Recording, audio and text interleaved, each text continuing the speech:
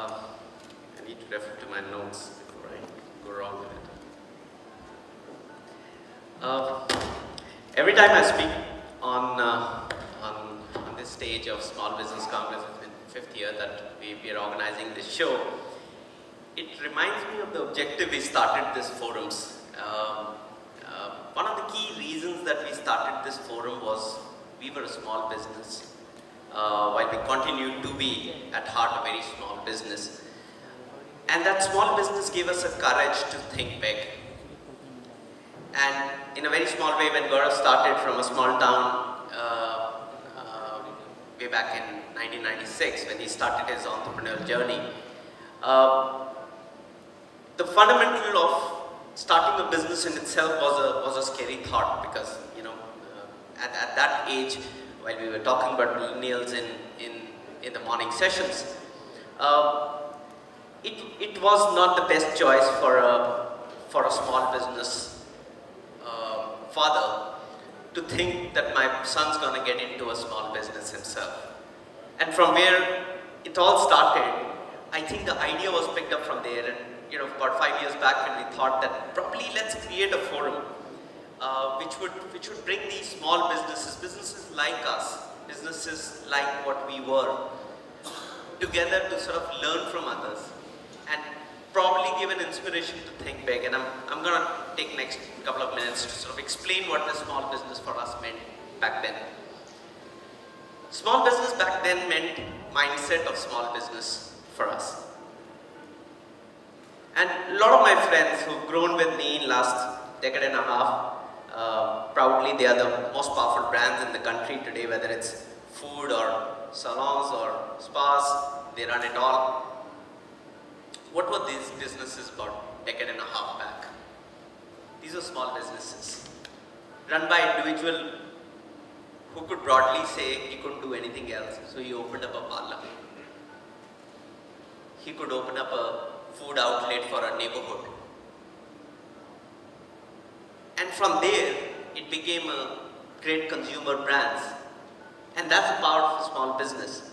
So my learning of small business about five years back started from a from an internet research which said 99.7 99.7% of the businesses in America are small business.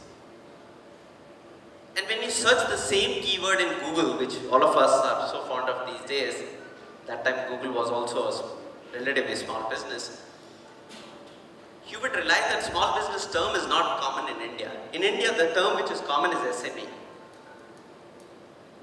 And I wonder, as a young guy, what is this SME all about? Because we, we, we are very used to calling ourselves business owners. We never used to call ourselves entrepreneurs. Guys, you got to understand that we started, we are, I'm talking about a decade back, almost a decade back when this thought started, you know, hitting us and saying, you know what, this, this entrepreneur world in India was not that common at that point in time. So when, when I did this search, and you could probably do this uh, tomorrow morning, you would not find much about small business in India. You will find about SME in India. In fact, Wikipedia, if you search, you would find that India is one of the countries which is wherein you would search as SME and it will come in. And I started worrying about what, what the small business was and what this SME was. So we went to government. We said, uh, we want to do this, we're a forum of small businesses uh, and we need your help. It's only last year that they've identified services which is 67%. Earlier it was all manufacturing. Gaurav jokingly says, if somebody puts up a shabby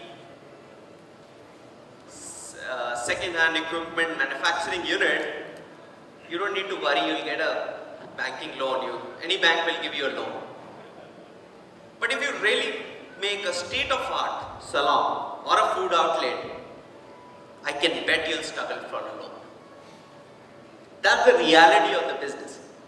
Second thing, let's let's understand from an economic standpoint. All of you are now grown past that age. You'll say probably I'm, I'm representing a franchisee of mine. What is economic story about India? What's so special about India? One of the biggest things which are, we are talking about India is Indian consumption. Who's servicing this consumption?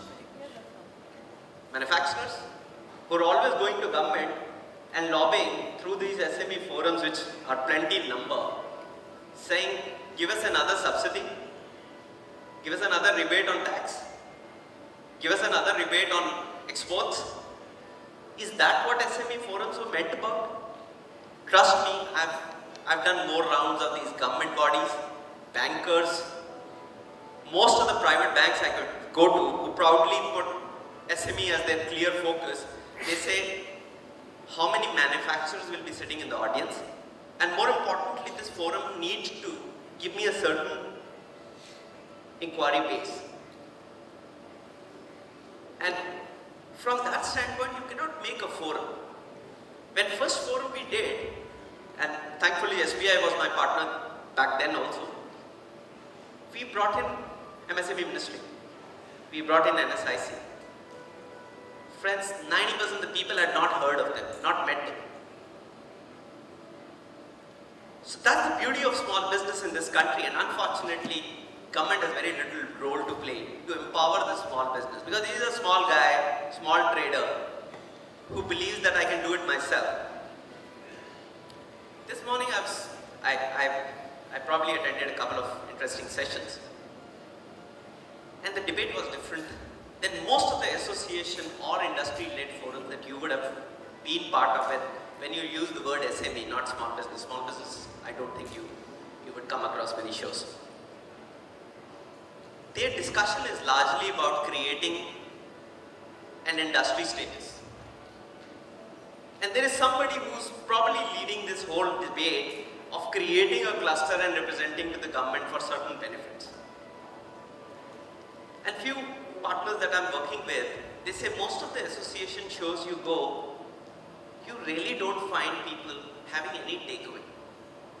And Ritu was telling me this, this afternoon that our questions were not stopping. People were not stopping to sort of ask questions. So there was so much of content, there was so much of take, takeaway that we were talking about in the congresses. And that's, that's the fundamental of us. Uh, as an organization, we are about 130 cities that we operate in, about 700 people. And all these 700 people are only trained in one thing, how to knock a small business and tell him how can you grow. And these forums really were about growth. Today what we do is we, we probably organize, starting from small business, which was our first show five years back, about 10 such shows. Wherein we bring small businesses of various kinds. In all, we do about 110 shows across 78 cities, engaging about a million small businesses. And all these small businesses have a common agenda to come to our forum, growth.